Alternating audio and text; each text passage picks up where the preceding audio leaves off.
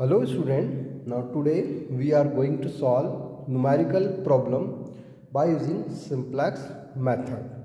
So student last time के जो हमारे लेक्चर में हमने सिंप्लेक्स मेथड क्या था और सिंप्लेक्स मेथड के थ्रू हम जब न्यूमेरिकल सॉल्व करते हैं उसके लिए बेसिक प्रोसीजर क्या था वो हमने डिस्कस किया था। और आज हम उसी प्रोसीजर का यूज़ करके न्यूमेरिकल को सॉल्व करते हैं। सो so, हमारे पास जो न्यूमेरिकल है वो इस तरह है। Maximize z equals to 40x1 plus 35x2 and subject to constraint 2x1 plus 3x2 is less than equals to 60 and next constraint 4x1 plus 3x2 is less than equals to 96 and x1 and x2 both are decision variable and that must be greater than or equal to 0 तो जैसे कि questions में हमारे पास objective function है, जिसमें हमको क्या करना है? मैक्सिमाइज करना है। किसको मैक्सिमाइज करना है प्रॉफिट को मैक्सिमाइज करना है। तो तो ऑब्जेक्टिव फ़ंक्शन कितना है? Forty x one plus thirty five x two और उसके बिहार पे हमारे जो सब्जेक्ट ऑफ़ कस्टेंट्स है सब्जेक्ट टू कस्टेंट में कितना है?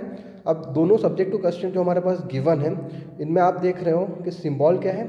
लेस देन इक्वल और इसमें भी क्या है? लेस देन इक्वल मतलब लेस देन इक्वल का मतलब यही हुआ कि आप जब भी न्यूमेरिकल सॉल्व करो तो सबसे पहले आप सिंबल को देखोगे और उसके बेस पर आप डिसाइड करोगे कि हमें सिंप्लेक्स मेथड में जो इनक्वालिटी वाली इक्वेशन है, अगर उस इनक्वालिटी वाली इक्वेशन को इक्वालिटी इक्वेशन में अगर कन्वर्ट करना होता है तो वहाँ पे हमको किसको इंट्रोड्यूस करना है? सिलेक्ट वेरिएबल को इंट्रोड्यूस करना है या सरप्लस वेरिएबल को इंट्रोड्यूस करना है। तो सबसे पहले जो हमारी स्टार्टिंग जो होती है, वो है हमारा सब्जेक्ट टू कंस्टेंट तो हम इसका सॉल्यूशन करते हैं। सो सब्जेक्ट टू कंस्टेंट में ये है आपका two x one plus three x two और चूँकि ये कितना दे रखा है? लेस देन इक्वल मीन्स ये जो लेफ़्ट हैंड साइड है और ये जो राइट हैंड साइड है, ठीक है? अब लेफ़्ट हैंड साइड और राइट हैंड साइड इसमें बीच में जो सिम्बॉल दे रखा है, वो लेस देन टाइप है। अब एक बात तो क्लियर है, अगर लेस देन टाइप है और उसको इनक्वालिटी से इक्वालिटी में चेंज करना है तो पहले हम यहाँ पे लिख देते हैं इसको 60 अब हमें क्या करना है? स्लेक वेरिएबल यूज़ करें या सरप्लस वेरिएबल यूज़ करें? ये हमने लास्ट टाइम प्रोसीजर में भी डिस्कस किया था कि अगर हमारे पास जो सिम्बॉल है, वो लेस देन इक्वल है तो हमें स्लैक वेरिएबल का यूज़ करना पड़ेगा। आप चूँकि ये फ़र्स्ट कंस्टेंट है तो मैंने यहाँ पर एस वन को इंट्रोड्यूस कर दिया है। अब हम नेक्स्ट कंस्टेंट्स की बात करें। तो यहाँ पे नेक्स्ट कंस्टेंट इसमें भी क्या है? लेस देन इक्वल टू है तो यहाँ पर भी हम वही करेंगे। फोर एक्स वन तो ये इस कंस्टेंट को इनक्वालिटी से हमको इक्वालिटी में चेंज करना है। तो four x one plus three x two और चूँकि लेस देन इक्वल है तो आपने एस टू स्लैक वेरिएबल को इंट्रोड्यूस किया, और यहाँ पे लिख दिया नाइन्टी सिक्स क्लियर स्टूडेंट अब एक इंपॉर्टेंट चीज़ ये है कि हमारे पास जो ऑब्जेक्टिव फ़ंक्शन है सो अकॉर्डिंग टू प्रोसीजर तो हम जेड को ऐसा लिख सकते हैं क्योंकि मैक्सिमाइज करना है हमें। तो z equals to forty x one plus thirty five x two और प्लस अब यहाँ पर जो स्लैक वेरिएबल है एस वन और एस टू अगर हम ऑब्जेक्टिव फ़ंक्शन में इसको मेंशन करेंगे तो zero into s one plus zero into s two clear है? तो आपको, यहाँ तक तो आपको उम्मीद है कि समझ में आ गया होगा। ठीक है स्टूडेंट अब यहाँ पे इसके नीचे ये x one and x two और ये तो क्या है? Both are greater than equal to zero ठीक है? अब हमें सॉरी यहाँ पर एक चीज़ और इंट्रोड्यूस करेंगे एस वन और एस टू को भी इंट्रोड्यूस कर रहे हैं। और x one x two s one s two all are greater than equals to कितना होना चाहिए? ज़ीरो होना चाहिए। क्लियर अब हम क्या करेंगे? इस टेबल की हेल्प से इस न्यूमेरिकल को सॉल्व करते हैं। जैसे लास्ट टाइम हमने प्रोसीजर में क्या क्या चीज़ देखी थी टेबल में वही टेबल को हम यहाँ पे बनाते हैं और उसके बाद iteration one iteration two method से इसको हम सॉल्व करते हैं। सो so, स्टूडेंट अब हम इस टेबल वन की बात करते हैं। हमने टेबल वन बनाई। अब सबसे पहले टेबल वन में अब हमारे पास यहाँ पे फ़र्स्ट है c b coefficient of basics फिर उसके बाद में है हमारा नेक्स्ट बेसिक वेरिएबल उसके बाद में जो कॉलम में यहाँ पे लिखना है सॉल्यूशन वैल्यू जो कि b equals to x b होता है. उसके बाद x one x two s one s two और यहाँ पे हम लिखेंगे मिनिमम रेशो और मिनिमम रेशो के लिए जो फॉर्मूला होता है solution value upon key column ठीक है?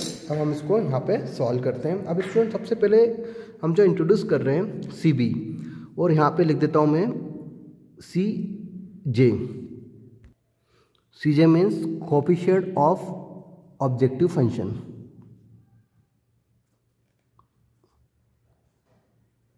तो सबसे पहले अगर मैं बात करता हूँ सी जे की तो कॉफिशियंट ऑफ़ ऑब्जेक्टिव फ़ंक्शन तो वो कितना है? यहाँ पर एक्स वन इसके कॉफिशियंट कितने हैं? तो यहाँ पे मैं लिख देता हूँ इसको, ये है फोर्टी और ये है आपका एक्स टू की जगह एक्स टू का कॉफिशियंट कितना? थर्टी फाइव अब एस वन क्योंकि आप ऑब्जेक्टिव फ़ंक्शन में स्लेक वेरिएबल के जो कॉफिशियंट है, उसको आप ज़ीरो ही कंसीडर करते हो। तो यहाँ पे एस वन पे ज़ीरो और एक्स टू पर ज़ीरो क्लियर अब हम बात करते हैं सी बी सी बी का मतलब होता है कॉफिशेंट्स ऑफ़ बेसिक्स अब हम यहाँ पर कॉन्स्टेंट्स को फोकस करते हैं। अब कॉन्स्टेंट्स को फोकस करें तो हमारे पास दो स्लैक वेरिएबल है। एक है फ़र्स्ट कॉन्स्टेंट्स के लिए एस वन और सेकंड कॉन्स्टेंट्स के लिए एस टू तो हमने यहाँ पे लिख लिया एस वन और दूसरा लिख लिया एक्स टू अब एस वन का जो कॉफिशियंट मतलब यहाँ पर ऑब्जेक्टिव फ़ंक्शन के हिसाब से अगर देखें तो एस वन के कितने हैं? एस वन के कितने हैं? ज़ीरो और एस टू के कितने हैं? ज़ीरो तो हम जो एस वन और एस टू इन दोनों के जो कॉफिशियंट है ऑब्जेक्टिव फ़ंक्शन के जो कॉफिशियंट है, उसी को यहाँ पर मेंशंस करेंगे। तो एस वन का कितना है? ज़ीरो और एस टू का कितना है? ज़ीरो ठीक है? और सॉल्यूशन वैल्यू की अगर हम बात करते हैं तो ये होता है हमारा राइट हैंड साइड वैल्यू तो राइट हैंड साइड वैल्यू कितनी है? फ़र्स्ट कंस्टेंट्स की है सिक्सटी और सेकंड कंस्टेंट्स की है आपकी ये नाइन्टी सिक्स अब हम बात करते हैं हमारे कॉन्स्टेंट्स की। हमारे कॉन्स्टेंट्स में एक्स वन अगर फ़र्स्ट कॉन्स्टेंट्स फ़र्स्ट रो की बात करते हैं तो इस रो में फ़र्स्ट रो में आपका एक्स वन की जगह कितना है यहाँ पे इसका कोफिशियंट टू एक्स टू की जगह कितना है? थ्री एस वन की जगह कितना है? अब एस वन का अब अब एक, सुन, आपको एक चीज़ ध्यान रखना है कि ऑब्जेक्टिव फ़ंक्शन में हम जब स्लेक वेरिएबल के जो कोफिशियंट्स लेते हैं तो उसको तो हमको ज़ीरो कंसीडर करना है, लेकिन जब भी हम कॉन्स्टेंट्स की बात करेंगे तो यहाँ पर उसके हम एक्चुअल कोफिशियंट लेंगे। अब जैसे एस वन में आपको एक्चुअल कोफिशियंट कितना दिख रहा है मतलब कुछ नहीं है मतलब वन है। तो एस वन की जगह कितना लिख दिया आपने? वन अब चूँकि यहाँ पर एक्स टू नहीं है तो एक्स टू की जगह हम यहाँ रख देंगे ज़ीरो अब हम इस कॉन्स्टेंट्स की बात करेंगे, इसमें क्या है? Four X one plus three X two plus X two equal to ninety six तो यहाँ पे हम लिख देते हैं फोर थ्री अब एस वन क्या है यहाँ पे? एस वन तो नहीं है, यहाँ पर एस टू है तो एस वन की जगह ज़ीरो और एक्स टू की जगह लिख दिया हमने वन ठीक है स्टूडेंट तो उम्मीद करता हूँ स्टूडेंट यहाँ तक तो आपको क्लियर हो गया होगा। तो अब सी तो है आपके पास। अब हम क्या करेंगे? जेड जे की बात करेंगे। हमने, हमें वही करना है जो हमने लास्ट लेक्चर में जो सिंप्लेक्स मेथड की जो प्रोसीजर को फॉलो किया था प्रोसीजर को डिस्कस किया था, उसी को हमको न्यूमेरिकल में अप्लाई करना है। तो आपको जेड जे की बात करते हैं। तो आप स्टूडेंट जानते हैं कि जेड जे क्या होता है? जेड जे के लिए मैंने आपको लास्ट टाइम बताया था। जेड जे क्या होता है?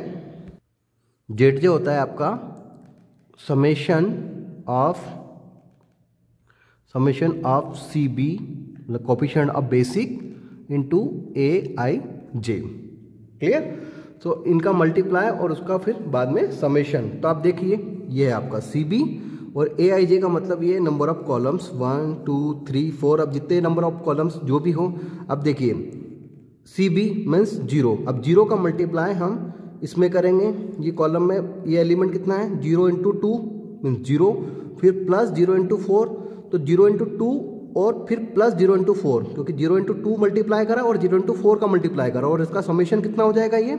ये हो जाएगा आपका ज़ीरो फिर same condition zero into three तो zero into three means zero और फिर plus zero into three zero तो मतलब ये हो गया आपका ज़ीरो सेम सभी में क्या आ जाएगी वैल्यू ज़ीरो आ जाएगी। तो यहाँ तक तो आपको क्लियर है। अब हमको क्या करना है? सी जे माइनस जेड जे करना है। मतलब इन दोनों का नेट इवोल्यूशन नेट डिफरेंस तो नेट डिफरेंस कितना हो जाएगा? अब आप देखिए।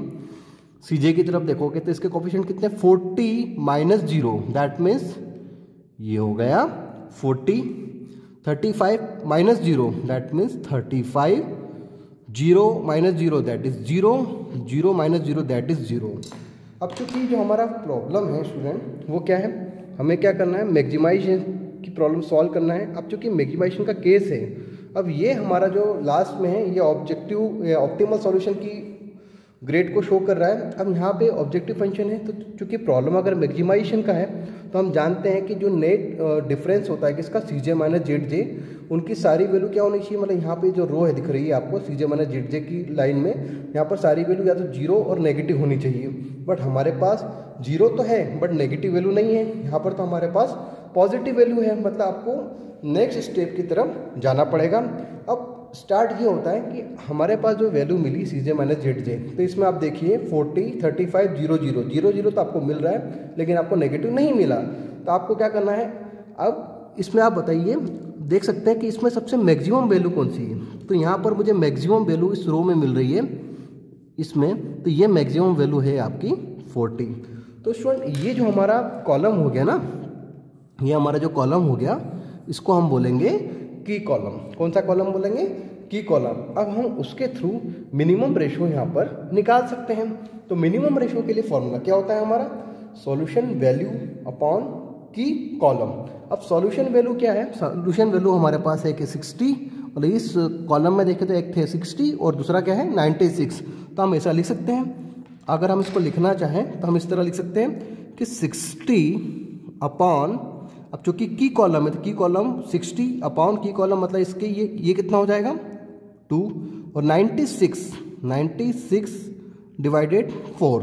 तो आप इसको सॉल्व करते हैं तो ये तो हो जाएगा 30 और ये हो जाएगा हमारा 24 सो स्टूडेंट आप मिनिमम रेशो में एक रूल्स होता है, चाहे प्रॉब्लम मिनिमाइजेशन या मैक्सिमाइजेशन जो भी हो मिनिमम रेशो में हमेशा क्या होता है? हमें मिनिमम वैल्यू को सिलेक्ट करना होता है। और अगर कोई वैल्यू नेगेटिव मिले और या इन्फिनेटिव मिले तो उसको हमें इग्नोर करके कोई दूसरी मिनिमम वैल्यू को सिलेक्ट करना होता है। बट चूँकि यहाँ पे प्रॉब्लम हमारा मैक्सिमाइजेशन का है, लेकिन मिनिमम रेशो अगर हम बात करते हैं तो मिनिमम रेशो में जो भी है, जैसे कि थर्टी और ट्वेंटी फोर तो आप स्टूडेंट जानते हैं कि यहाँ पर आपकी जो मिनिमम वैल्यू है, वो कौन सी है?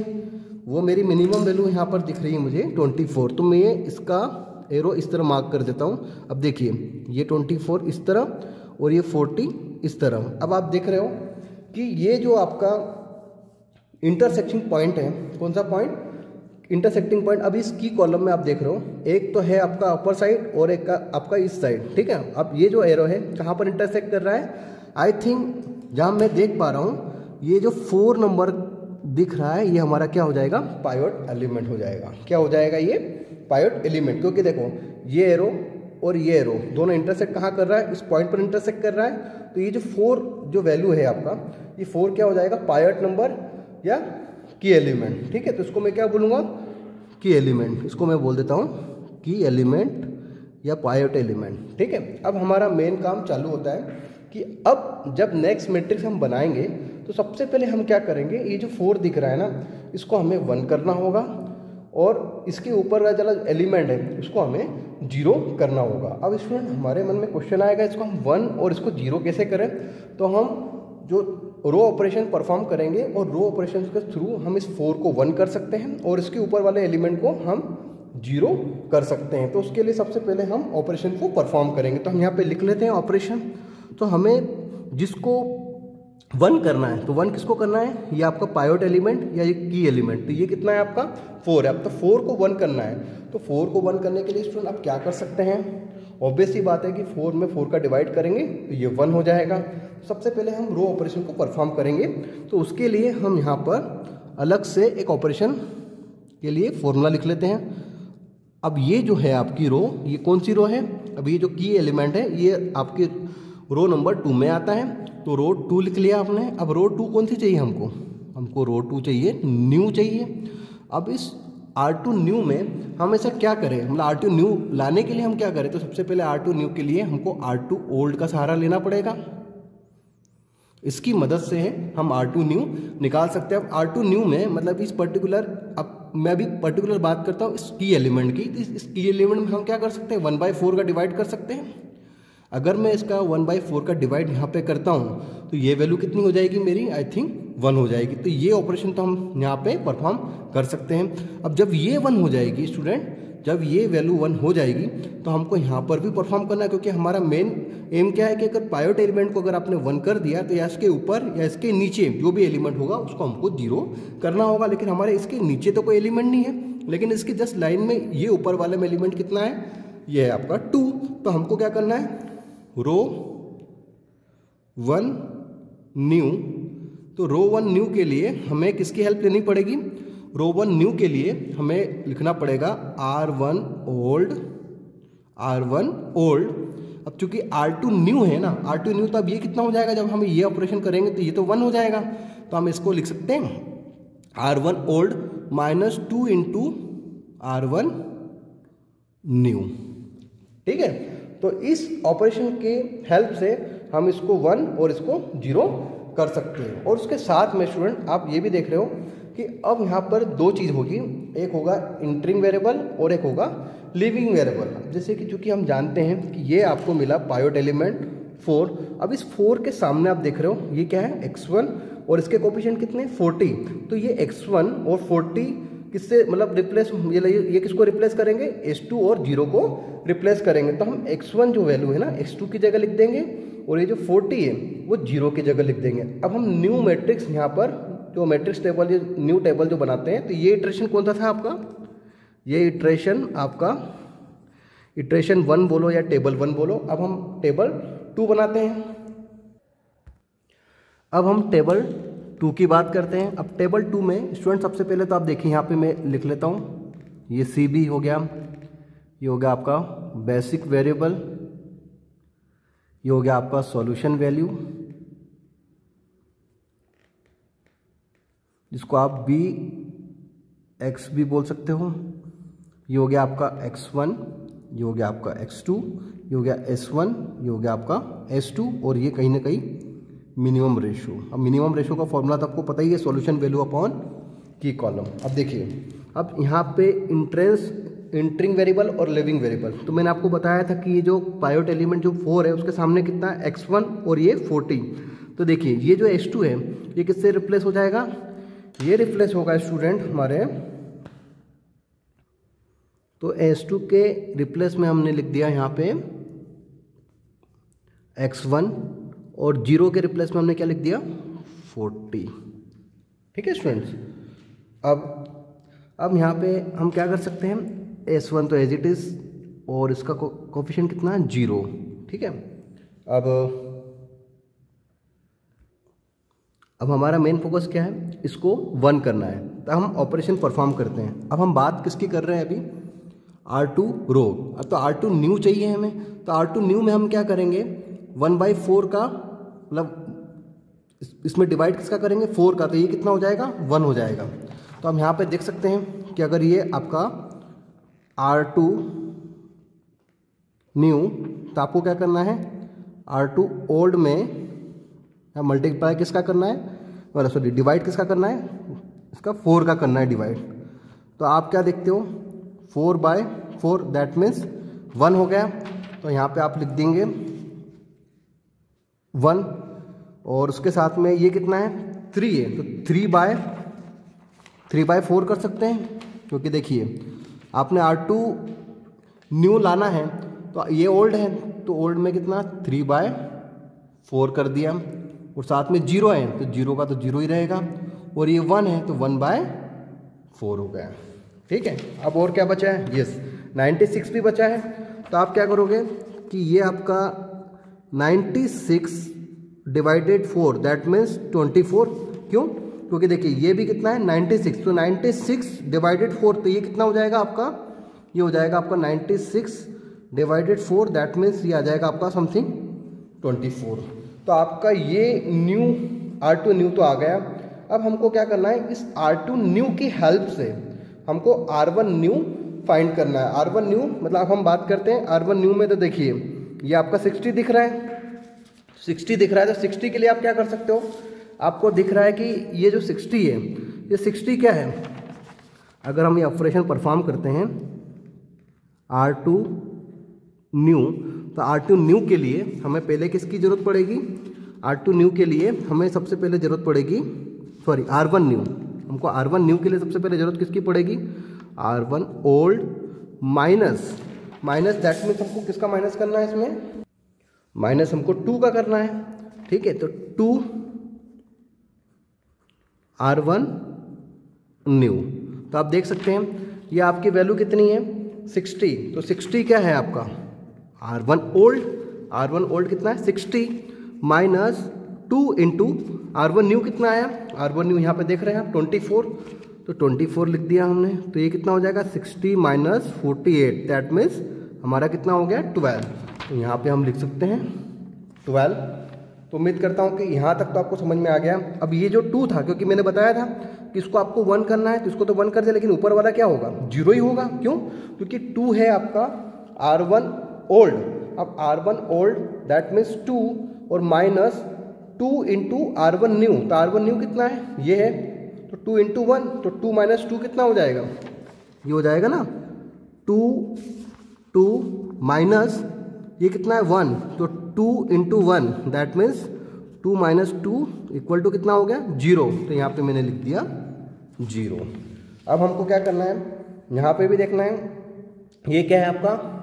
आर वन न्यू चाहिए हमें तो ये आर वन ओल्ड है। तो हम यहाँ पे वही कंसेप्ट का यूज़ करोगे। आर वन ओल्ड मतलब ये कितना है? थ्री और माइनस अब माइनस में क्या करेंगे? हम माइनस में वही two into three by four two into three by four तो टू से फोर कैंसिल तो ये हो जाएगा आपका three minus three by two अब हम क्या करेंगे इसका? एलसीएम लेते हैं। तो एलसीएम लेते तो ये कितना हो जाएगा? टू और ये हो जाएगा सिक्स माइनस थ्री तो ये हो जाएगा थ्री बाय टू ठीक है? तो स्टूडेंट कितना हो जाएगा ये? यहाँ पे हो जाएगा थ्री बाय टू ठीक है? हमने ये ऑपरेशन परफॉर्म की। अब उसके बाद आता है हमारा ये हो गया। अब ये है आपका, ये कितना है?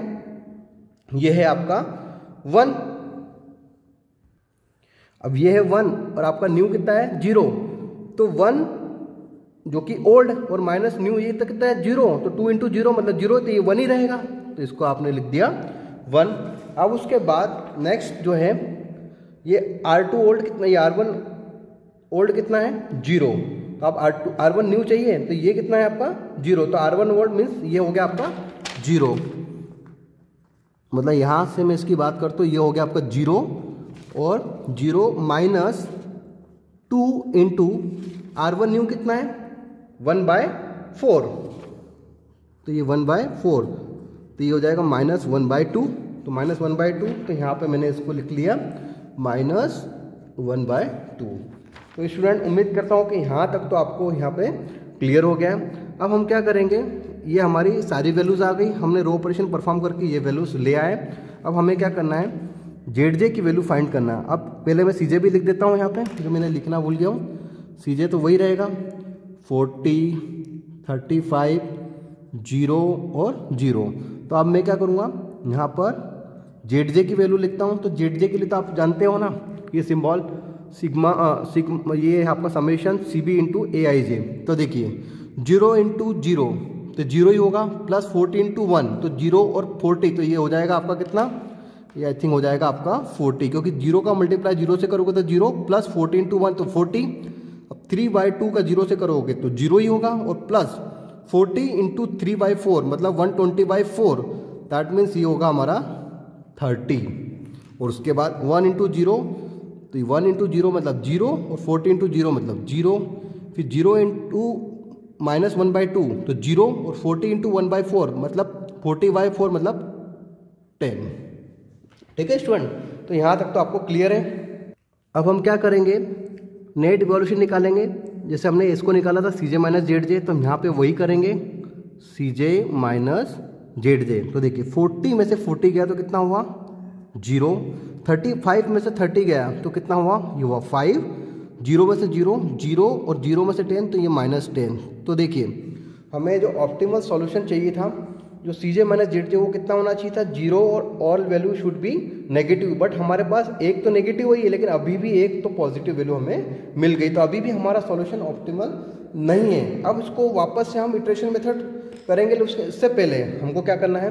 मिनिमम रेशियो फाइंड करना है। तो स्टूडेंट आपको एक चीज़ तो क्लियर हो गई कि सी जे माइनस जेड जे चूँकि प्रॉब्लम किसका है? मैक्सिमाइजेशन का। तो ज़ीरो और सारी वैल्यू क्या होनी चाहिए? नेगेटिव होनी चाहिए बट एक वैल्यू हमारे पास पॉजिटिव आ गई है। तो हमें मोस्ट पॉजिटिव वैल्यू को यहाँ पर कंसिडर करना है। तो मोस्ट पॉजिटिव वैल्यू कौन सी है ये? फाइव अब फाइव के सामने वाला ये कॉलम है स्टूडेंट ये आपका कौन सा कॉलम हो जाएगा बेटा? ये स्टूडेंट हो जाएगा हमारा की कॉलम कौन सा कॉलम हो जाएगा ये? की कॉलम अब हम क्या कर सकते हैं? मिनिमम रेशो की वैल्यू यहाँ पे फाइंड कर सकते हैं। आप चूँकि जानते हैं स्टूडेंट कि मिनिमम रेशो के लिए हमारे पास फॉर्मूला क्या होता है? सॉल्यूशन वैल्यू अपॉन की कॉलम तो देखिए सॉल्यूशन वैल्यू कितनी है आपकी? ट्वेल्व तो अपन लिख सकते हैं twelve divided three by two तो मल्टीप्लाई टू बाई थ्री हो जाएगा। तो ये हो जाएगा ट्वेंटी फोर बाई थ्री मतलब ये हो गया एट और आप same twenty four divided three by four तो फोर ऊपर आ जाएगा और अपॉन थ्री तो ये हो गया एट तो ये हो गया आपका थर्टी टू। देखिए स्टूडेंट, अब आप मिनिमम रेशो की बात करते हैं तो स्टूडेंट, यहाँ पर जो मिनिमम रेशो है ना, अगर हम इनकी बात करते हैं तो ये कितनी वैल्यू हुई? एट, और ये कितनी वैल्यू हुई? Thirty two. अब मिनिमम रेशो में तो आपको जानते ही हैं कि हमको मिनिमम वैल्यू को यहाँ पर सिलेक्ट करना है। तो मिनिमम वैल्यू कौन सी है आपकी यहाँ पर? ये है हमारी एट। अब स्टूडेंट, आप देख रहे हो कि ये एरो और ये एरो ये कहाँ पर इंटरसेक्ट कर रहा है? आई थिंक ये इंटरसेक्ट कर रहा है पर्टिकुलर इस एलिमेंट पे। कौन से एलिमेंट पे? थ्री बाई टू तो इसको क्या बोलोगे आप? ये हो गया आपका की एलिमेंट क्या हो गया आपका? की एलिमेंट मतलब आपका ये जो वैल्यू है, कितना है? थ्री बाय टू तो अब अब हमको क्या करना है? इस थ्री बाय टू को आपको क्या करना है? रो ऑपरेशन परफॉर्म करके थ्री बाई टू को वन करना है और इसके नीचे एलिमेंट या इसके ऊपर, अब इसके ऊपर तो एलिमेंट है ही नहीं, लेकिन इसके नीचे जो एलिमेंट है वो कितना है? थ्री बाई फोर इसको क्या करना है? ज़ीरो करना है। तो कहीं ना कहीं हम रो ऑपरेशन को परफॉर्म करेंगे। तो अब हम नेक्स्ट मैट्रिक्स और वापस से बनाएँगे। अब उससे पहले एक और चीज़ बता दूँ कि आप देखिए, यहाँ पर इंट्रेंस एंट्रिंग वेरिएबल और लिविंग वेरिएबल अब चूँकि देखिए ये जो थ्री बाई टू ये था आपका पायोट एलिमेंट या की एलिमेंट जिसको हमको क्या करना है? वन करना अब इसके सामने आप देखिए ये कितना है? एक्स टू और ये कितना है? थर्टी फाइव तो हम एक्स वन जो ये आपका जो सिलेक्ट वेरिएबल है इसको रिप्लेस करेंगे एक्स टू से और जो ज़ीरो है इसको रिप्लेस करेंगे थर्टी फाइव से। तो हम अब नेक्स्ट मैट्रिक्स बनाते हैं। सो so, स्टूडेंट हम नेक्स्ट टेबल पे आते हैं। टेबल नंबर थ्री अब टेबल नंबर थ्री में, पहले तो हम इसका यूज़ करते हैं कि यहाँ पे आपका लिविंग वेरिएबल कौन सा है और एंट्रेंस वेरिएबल कौन सा है क्योंकि ये जो पायोट एलिमेंट है, ये कितना है? थ्री बाई टू तब थ्री बाई टू के सामने ये कितना है? इस लाइन में एक्स टू है और ये कितना है? थर्टी फाइव है। तो एक्स वन जो कि रिप्लेस होगा किससे? थर्टी अपने एक्स टू से और जो ज़ीरो होकर रिप्लेस होगा? थर्टी फाइव से। तो क्यों नाम इसको यहाँ पर लिख सकते हैं? ये होगा आपका एक्स टू और ये होगा आपका थर्टी फाइव ठीक है? इसको अलग पेन से बना देता हूँ। थर्टी फाइव और ये एक्स टू। और एक्स वन तो एज इट इज़ है ही। फोर्टी। अब देखिए स्टूडेंट अब हमारा मेन काम क्या है? ये जो पायोट एलिमेंट हमको मिला थ्री बाई टू इसको क्या करना है हमें? वन करना है। मतलब ये जो आपकी रो है, ये कौन सी रो है? ये हम रो ऑपरेशन परफॉर्म करते हैं तो ये रो है आपकी आर वन न्यू हमको लानी है। तो आर वन न्यू लाने के लिए हमें आर वन ओल्ड का यूज़ करना पड़ेगा। अब आर वन ओल्ड में, अब ये है थ्री बाई टू तो मैं टू बाई थ्री कर सकता हूँ। अगर मैं टू बाई थ्री का मल्टीप्लाई करता हूँ इसमें थ्री बाई टू में तो ये वन हो सकता है, बिल्कुल हो सकता है। तो आपकी फ़र्स्ट रो तो ये हो गई आपकी कंप्लीट अब नेक्स्ट इसके बाद जो दूसरी रो है, वो है आपकी आर टू न्यू अब आर टू न्यू के लिए स्वाभाविक यह है कि हमको आर टू ओल्ड का सहारा तो लेना ही पड़ेगा। अब आर टू ओल्ड में क्या माइनस करें कि ये जो आपका थ्री बाई फोर है, ये क्या हो जाए आपका? ज़ीरो हो जाए। तो हम आर टू ओल्ड जो कि क्या थ्री बाई फोर तो आर टू माइनस तो हम इसमें थ्री बाई फोर का मल्टीप्लाई करके किसमें किसमें मल्टीप्लाई करेंगे आर वन न्यू में। तो हमको क्या मिल जाएगा? ये वाली वैल्यू क्या मिल जाएगी? ज़ीरो मिल जाएगी। तो सबसे पहले हमारा मेन फोकस किस पे होगा? ये जो रो है हमारी फ़र्स्ट रो जिस पर हमको पायोट एलिमेंट जो की एलिमेंट या पायोट एलिमेंट इसको क्या करना है? वन करना है। तो देखिए एक्स टू हमने इसको रिप्लेस तो कर दिया है। एस वन को रिप्लेस कर दिया एक्स टू से और ज़ीरो को रिप्लेस कर दिया थर्टी फाइव से। यहाँ तक तो हो गया काम। अब ये कितना है? ट्वेल्व है स्टूडेंट तो ट्वेल्व है तो ट्वेल्व में मैं मल्टीप्लाई किसका करूँगा? ट्वेल्व में मैं मल्टीप्लाई करूँगा टू बाय थ्री तो ये कितना हो जाएगा? Twelve multiply two by three तो आई थिंक ये हो जाएगा एट कितना हो जाएगा स्टूडेंट ये हो जाएगा मेरा एट ठीक है? तो इतना तो आपको क्लियर हो गया होगा।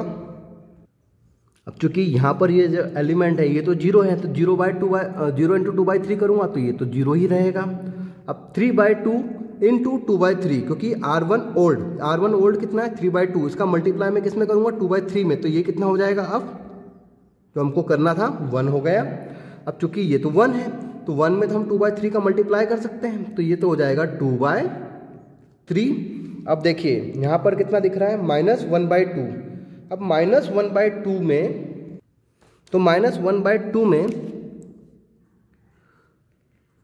माइनस वन बाई टू में मल्टीप्लाई में टू बाई थ्री का कर सकता हूँ। तो टू से टू कैंसिल तो ये कितना हो जाएगा आपका? माइनस वन बाई थ्री तो मैं यहाँ पे लिख देता हूँ माइनस वन बाय थ्री। तो देखिए आपकी ये रो तो आपकी कंप्लीट हो गई है।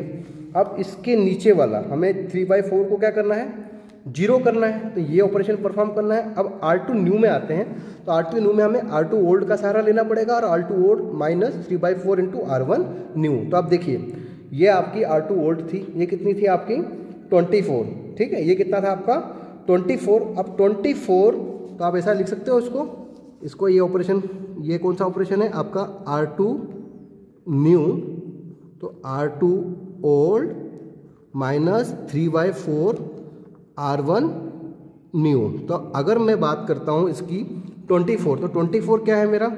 आर टू ओल्ड है तो ट्वेंटी फोर मैंने लिख दिया minus three by four as it is and multiply अब आर वन न्यू कितना है? आर वन न्यू कितना है आपका? आर वन न्यू आया आपका एट कितना आया? एट आया क्योंकि यहाँ से एट से रिप्लेस हुआ तो एट आया तो यहाँ पे लिख दिया मल्टीप्लाई एट ठीक है? तो आप देखिए तो ये कितना हो जाएगा? ट्वेंटी फोर माइनस सिक्स तो ये हो जाएगा एट्टीन तो यहाँ पे मैं कितना लिख दूँगा? एट्टीन तो ये लिख दिया मैंने एट्टीन अब चूँकि ये कितना है? वन है। तो स्टूडेंट अब हम क्या करेंगे? ये है वन जो कि क्या है? आर टू ओल्ड कितना है? वन और minus three by four into R one new तो ये तो ज़ीरो है तो ज़ीरो में मल्टीप्लाई करेंगे तो ज़ीरो ही रहेगा तो वन का तो वन ही हो जाएगा। ठीक है स्टूडेंट तो वन का तो वन ही हो जाएगा। और ये जो थ्री बाई फोर अब थ्री बाई फोर तो ज़ीरो हो जाएगा। जैसे हमने किया आर टू ओल्ड कितना था?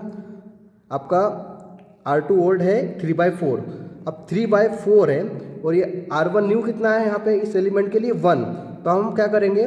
आर टू ओल्ड मीन्स यहाँ पे लिख सकते हैं इसको। आर टू ओल्ड है आपका थ्री बाय फोर देखिए आर टू वोल्ट कितना है? आर टू न्यू चाहिए आपको। तो ये कितना है? थ्री बाई फोर माइनस अब ये माइनस कितना आया? माइनस कितना आया? Three by four into one तो three by four three by four minus three by four तो ये कितना हो गया? ज़ीरो, यहाँ पे मैंने लिख दिया, क्योंकि ये तो हमने इसी पे परफॉर्म करा था। तो ये कितना हो जाएगा? ज़ीरो। ये हम चाहते ही थे, क्योंकि पायलट एलिमेंट के नीचे तो ये अगर वन होगा तो ये नीचे वाला कितना होगा? ज़ीरो होगा, क्योंकि हमारा मेन फोकस इस पर ही होता है। उसके बाद नेक्स्ट आप इस एलिमेंट की बात करते हैं। तो इस एलिमेंट में आप देखिए, ये ओल्ड एलिमेंट कितना है? ज़ीरो। कितना है ये? Old element zero. तो zero zero minus three by four into, three by four into two by three. Something ये ले लोगे आप। ठीक है स्टूडेंट? तो देखिए, ये कितना है आपका? ज़ीरो। तो ज़ीरो लिख दिया मैंने। और माइनस तो माइनस कितना है? Three by four into R one new. तो आर वन न्यू कितना है? Two by three. तो मैं लिख सकता हूँ। Zero minus three by four into कितना? ये हो गया आपका two by three. Two by three. तो थ्री से थ्री कैंसिल तो ये हो गया आपका माइनस वन बाय टू। कितना हो गया? Minus one by two. तो मैं यहाँ पे क्या लिख दूँगा? Minus one by two. अब हम बात करते हैं किसकी? ये आपका वन बाय फोर, ठीक है? स्टूडेंट तो ये वन बाय फोर है आपका ओल्ड। तो वन बाय फोर यहाँ पे लिख दिया, one by four minus. Three by four into, three by four into minus one by three. तो लिख सकता हूँ इसको ऐसा मैं? R two new. कितना लिखा मैंने? वन बाय फोर, जो कि ओल्ड था। वन बाय फोर, क्या था आपका? ओल्ड था। अब माइनस थ्री बाय फोर कि फॉर्मूला है थ्री बाई फोर और इंटू आर वन न्यू तो आर वन न्यू कितना है? माइनस वन बाई थ्री तो minus into minus one by three तो माइनस माइनस क्या हो जाएगा? प्लस हो जाएगा। और थ्री से थ्री कैंसिल तो one by four plus one by four तो आप इसको लिख सकते हो टू बाय फोर मतलब आपका वन बाय टू कितना हो गया? वन बाय टू तो मैंने यहाँ पे लिख दिया फाइनली ये कितना लिख दिया? वन बाय टू ठीक है स्टूडेंट अब हमको क्या करना है? अब जैसे कि हम जानते हैं सी जे की वैल्यू तो यहाँ पर कितनी है? Forty thirty five zero zero ये तो था ही। अब हमको क्या निकालना है? जेड जेड जे निकालना है। तो जेड जे के लिए देखिए। अब हमको पता है जेड जे के लिए फॉर्मूला क्या होता है? वो हमने देखा था यहाँ पे। यहाँ पे देखिए।